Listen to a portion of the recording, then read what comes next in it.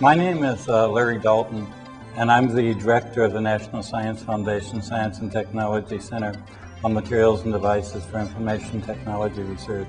And it's my pleasure to welcome you to the center.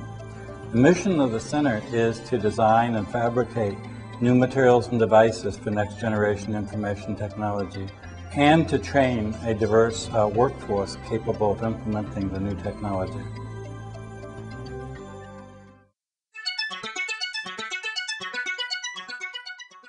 Our center is developing a new generation of organic materials. While information technology devices have traditionally been made from inorganic materials, such as silicon, our work on organic materials includes highly specialized polymers and plastics. The very idea that you can use organic materials to control light, to generate light, and to make use of light uh, to generate electricity is still a, uh, um, a frontier concept, I would say. These new organic materials will significantly enhance the performance and capabilities of information technology devices in the future. So the organic materials not only may have improved performance relative to some of the alternative materials, but they may have both more inexpensive processing and the ability for them to be integrated with other materials. And that makes them very attractive candidates for future technology.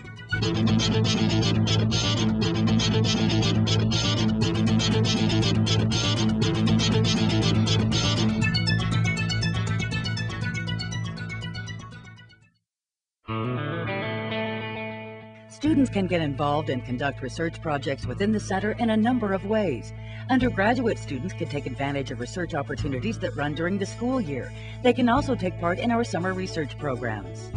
Our REU program is a, a program aimed at aimed at undergraduates, and its purpose is uh, to get undergraduates who are interested in a research career um, to get them exposed to to the environment and what it is to do research.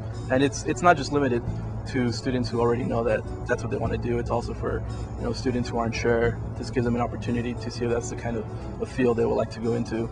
So I met students from all different backgrounds. I saw what different departments was they were working on. And the, the interesting thing was is that each student, we weren't all in like one department. Like some of them were doing theory-based research. Some of us were doing specific organic material research. Some were doing um, applied, using their materials to apply it to solar cells and uh, organic transistors. I'm very integrated in the research. I don't feel like I'm just somebody who's sitting on the sideline saying, oh, we need you to do this because we don't have time to. I actually feel like that people need what I'm doing and that I'm a, a vital part of this research group.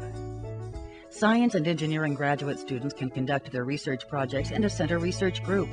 There are many opportunities to work with other researchers and travel among the participating institutions and industrial partners. With the STC Travel Grant, if I find collaborations other way, other places, I have the opportunity to go there as well. So it's very open in terms of collaboration and what I'm willing to do and what's available.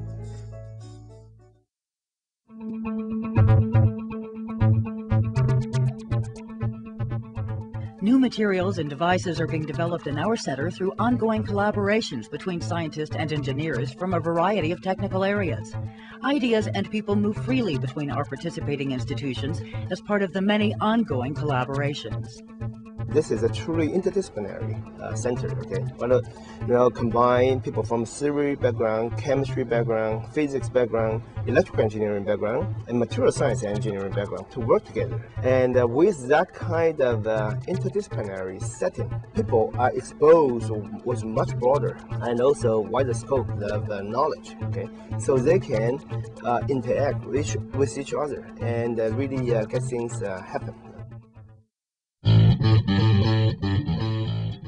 Center Research is enabling new ways of creating and transmitting information that will lead to many real-world benefits. Discoveries are being used to develop new products that are cheaper and easier to produce, require less energy to run, process more information at higher speeds, and generate clean energy from the sun. And so some of the research that is going on uh, within CMDITR is focusing on making uh, new materials uh, for very low cost uh, optical modulators uh, that um, hopefully will enable uh, very low cost, um, high bandwidth um, systems. And so renewable energy, such as solar energy, uh, provide uh, great opportunities. Our research really connects to some of these key uh, challenges and, and needs for society. Students in the center have the opportunity to carry out research with our many industry partners, working with industrial scientists and engineers.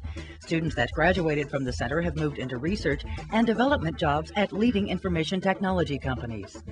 Boeing, who knew what we were doing, knew we'd been getting some exciting results in the lab, and uh, they had an idea that they thought they could uh, integrate some of our materials, some of our devices into some of their platforms for uh, airplanes, satellites, things like that. We have four UW graduates uh, or researchers on our currently on our staff, and and we have sent people that way uh, to the university. There's one researcher on Alex Jen's staff that came from Lumera. Students and researchers from many science and engineering disciplines are carrying out research together at locations across the country. We are developing exciting new materials and devices for the generation, transmission, and display of digital information. There are a number of ways to get involved in MDITR research as a student, including our summer REU program. Our industrial partners are involved in the center's research, and the career opportunities for the MDITR students continue to grow.